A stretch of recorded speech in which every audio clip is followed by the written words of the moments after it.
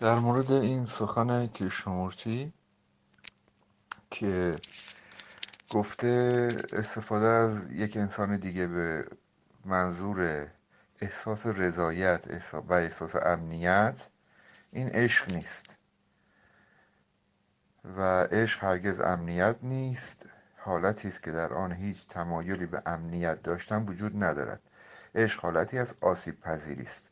انسان سالم چون که باز نسبت به زندگی در معرض آسیبه. این واقعیت. خب؟ این موضوع آسیب پذیریش. موضوع دیگه احساس رضایت و احساس امنیت. ببینید اگر خوب دقت کنیم اگه نگیم همه اکثر غریب به اتفاق روابط اصلا انسان ها برای این میرن رابطه می‌گیرن. اگه دقت کرده تو خیالاتشون توی رویاهاشون که من میرم با فلانی خواهم بود چه حس خوبی خواهم داشت دقیقا همین جستجوی احساس امنیت و احساس رضایت هست. من انسان نوعی دارم دریم می‌کنم دارم ارز کنم که خیالات می‌کنم دارم فکر می‌کنم به اصطلاح به اون معشوقم. و میگم اگه با اون باشم با هم, هم مثلا اینجا میریم اونجا میریم فلان کار می‌کنیم با همدیگه هستیم این کارا رو می‌کنیم اون کارا رو می‌کنیم. و همه این خیالات به خاطر اینه که می‌خوام از این رابطه احساس رضایت به دست بیارم. احساس امنیت به دست بیارم. رابطه رو به منظور کسب رضایت و امنیت می‌خوام بگیرم. یعنی ندارم و می‌خوام از رابطه اینا رو به دست بیارم حاصل کنم. به هیچ وجه همچین چیزی اتفاق نخواهد افتاد. این یه دروغه.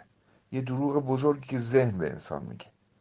و انسانی که اینجوری میره توی رابطه رابطه ناهنجار میشه. به هر حال به ناچار رابطه ناهنجار خواهد بود. مادامی که انسان گدا هست تو رابطه از اون می‌خواد چیزی بگیره. که متاسفانه اکثر روابط همینطوریه. ما واقعا اینجوری هستیم. واقعیت روابط ما اینه درون ما همچین چیزاییه. خب پس یه رابطه سالم چه رابطه؟ رابطه ای که هر دو بینیاز باشن. به لحاظ احساس رضایت احساس امنیت رو داشته باشن. آلردی به قول این غربیا. از غرب داشته باشن اصلا. نه اینکه برن تو رابطه تا احساس امنیت و رضایت رو بخوان با رابطه به دست بیارن. تمثیلا باید هر دو نور باشن هر دو چراغی باشن که کفایت کنه هر کسی برای خودش کفایت کنه از لحاظ معنوی. این بدرخشه اونم بدرخشه. نه اینکه این گدای از اون باشه از اون بخواد نور بگیره اونم از این بخواد نور